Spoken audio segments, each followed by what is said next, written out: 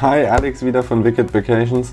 Ähm, unter unseren Videos, vor allen Dingen jetzt bei dem Asientrip, ähm, haben einige Leute gefragt, äh, wo wir die Wohnungen her haben, beziehungsweise einige Leute da haben uns gefragt, ob das Hotels sind, ähm, wegen den äh, Dachpools. Ähm, nein, alle ähm, Wohnungen haben wir bei Airbnb gebucht. Ähm, wir haben vor, ich glaube, zwei Jahren das erste Mal bei Airbnb gebucht und äh, super Erfahrungen damit gemacht. Und wenn ähm, man einmal auf diesem Trip ist, versucht man immer als erstes wieder da.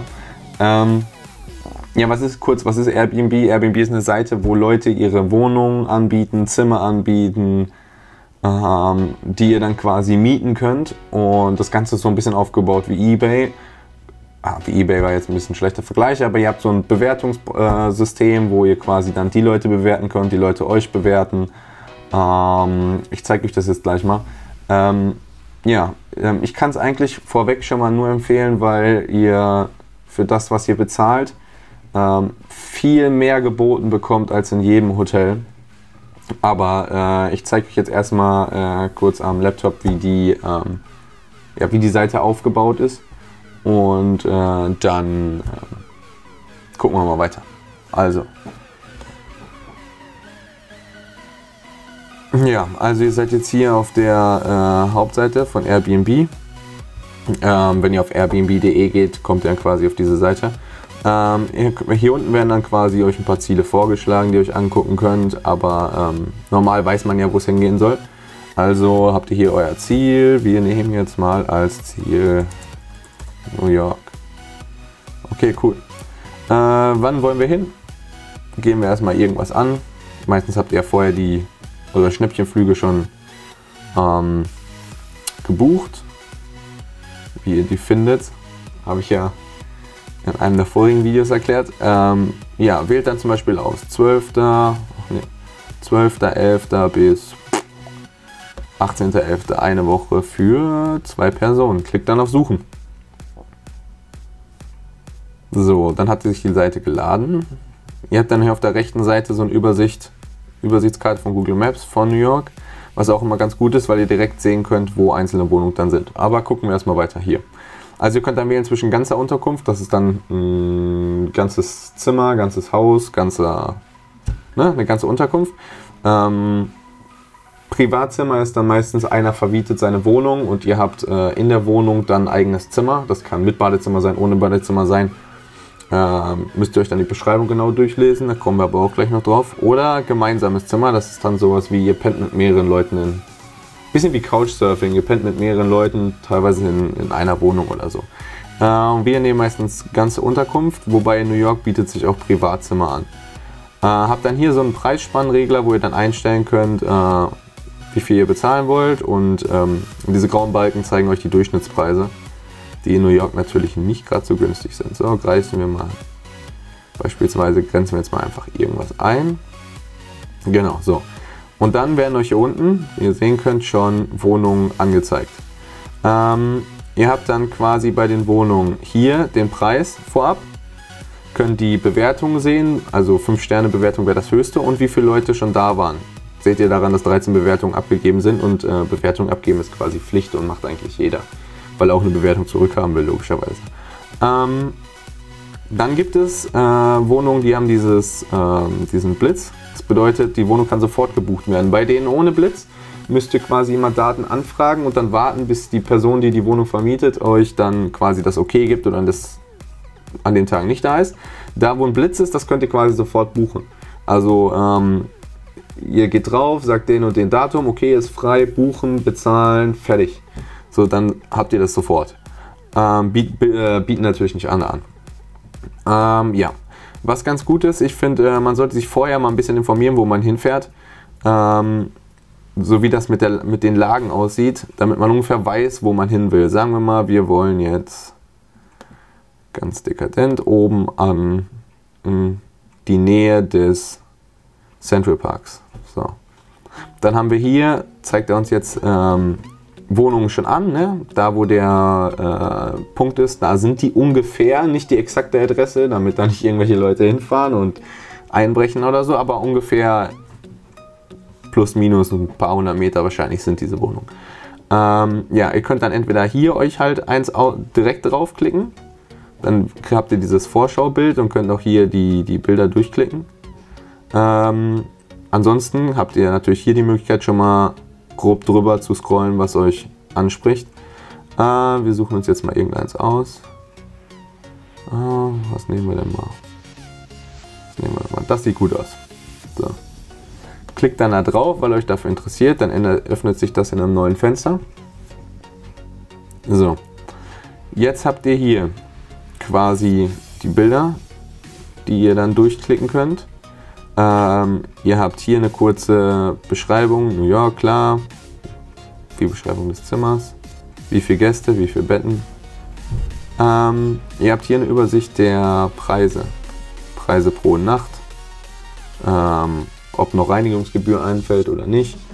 Ähm, Servicegebühren erhebt Airbnb selbst, da hat der Vermieter nichts mehr zu tun und den Gesamtbetrag und könnt dann quasi Buchung anfragen. Wie gesagt, bei Sofortbuchungswohnungen äh, würde dann, könntet ihr sofort buchen. Ähm, ja, hier drunter habt ihr dann quasi äh, alle Infos über die Wohnung, also was für ein Zimmer, wann könnt ihr rein. Das kann aber auch meistens noch mit der Person dann speziell abgesprochen werden. Äh, was für eine Ausstattung habt ihr? Ne? Sowas wie WLAN interessiert ja doch die meisten heutzutage. Ähm, ja, dann eine Beschreibung der Wohnung habt ihr hier.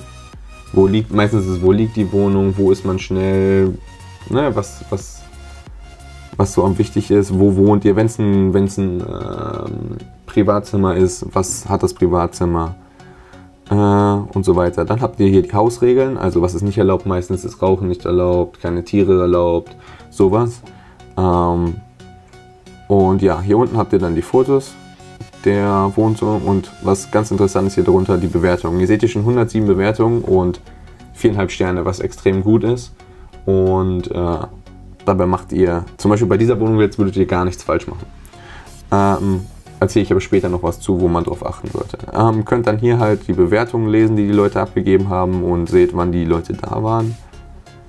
Ähm, ja, wenn ihr hier unten drauf klickt, über den Gastgeber, na, könnt ihr hier, habt ihr hier nochmal eine Übersicht, ähm, was für Sprachen spricht der, wo kommt er hin. Manche schreiben hier noch ein bisschen ihre Lebensgeschichte auf, so wo sie herkommen, wie lange sie schon da wohnen und so weiter. Ähm, Genau. Ähm, ja, das war's schon im Großen und Ganzen. Dann drückt ihr auf Buchen anfragen oder bucht. Und das war's. Ihr könnt, einen Moment, hier unten könnt ihr auf Nimm Kontakt auf, auch mit der Person dann persönliche Nachrichten äh, schreiben. Vorab, bevor ihr überhaupt irgendwas gemacht habt, könnt ihr schreiben, so ist das und das möglich, können wir das und das machen. Wir haben Flug um 3 Uhr nachts, können wir, ist da jemand da und so weiter und so weiter. Das könnt ihr vorab klären. Ähm, ja, soweit dazu. Jetzt ähm, kurz dazu, worauf man achten sollte. Also ich würde darauf achten, dass generell logischerweise die äh, Wohnungen gute Bewertungen haben. Ähm, wie viele Bewertungen die haben, also ich würde mal so ab 5, 6 positive Bewertungen im nahen Zeitraum, also nicht ein Jahr alte Bewertung, sondern ne, ein paar Monate alte gute Bewertung. Ähm, kann man das auf jeden Fall schon machen. Dann sieht man auch sofort, ich meine, das kennt jeder von so Ebay-Bewertungen, manche ähm, Inseraten, manche schreiben da rein, hi, verkaufen iPhone. Punkt. So, klingt nicht super ansprechend und nicht super seriös. Genauso ist es hierbei quasi auch. Man sieht an der ähm, Mühe, wie viel Mühe sich der, die Person äh, gemacht hat, um die Wohnung in zu inserieren ähm, und was sie geschrieben hat und wie ausführlich das ist ähm, kann man schon ein bisschen einschätzen, ähm, wer das ist, wie gut sind die Bilder, was für Bilder sind das und so weiter und so weiter. Ähm, ich finde auch, es äh, ist immer ganz hilfreich, einfach mal die Person zu kontaktieren. Wie gesagt, hier ganz unten, nimm Kontakt auf. Um äh, einfach mal zu gucken, wie lange braucht die Person, bis sie antwortet. Wie schreibt die Person? Ähm, kriege ich die Infos, die ich haben möchte? Und äh, dann natürlich einfach auf sein Bauchgefühl verlassen. Lief alles reibungslos, spricht mich die Wohnung an, ist der Preis okay, ähm, die Punkte, die ich gerade genannt habe, sind die okay und äh, dann macht man mit Airbnb nichts falsch.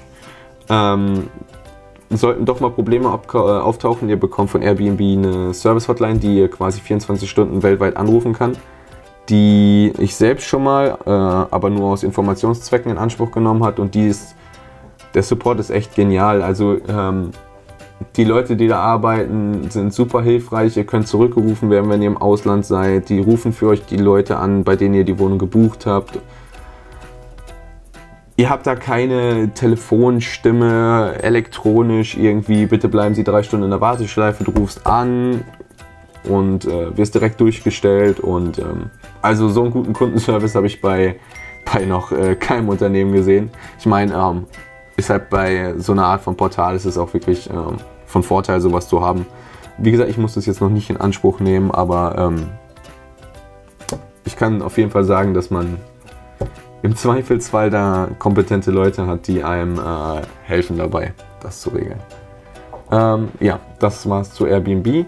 Ähm, ich packe unten in die Beschreibung äh, noch einen Link. Wenn ihr euch darüber anmeldet, ähm, bekommt ihr 20 Euro Guthaben. Ähm, wenn ihr euch angemeldet habt, könnt ihr dasselbe machen.